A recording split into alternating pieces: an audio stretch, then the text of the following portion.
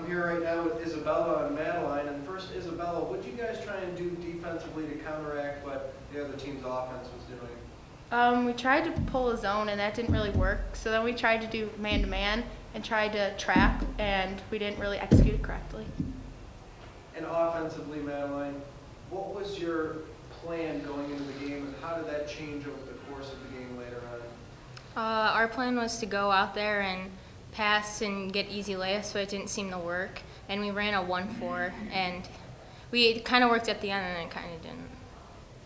And for both of you, what positives can you take away from this game moving into the rest of the weekend? Do you want to go? or Do you want me to go first? Okay. So that it's a preseason tournament and it doesn't really matter in the end because season's still to come. So it just can only help us get better. And what did your guys' coach tell you after the game?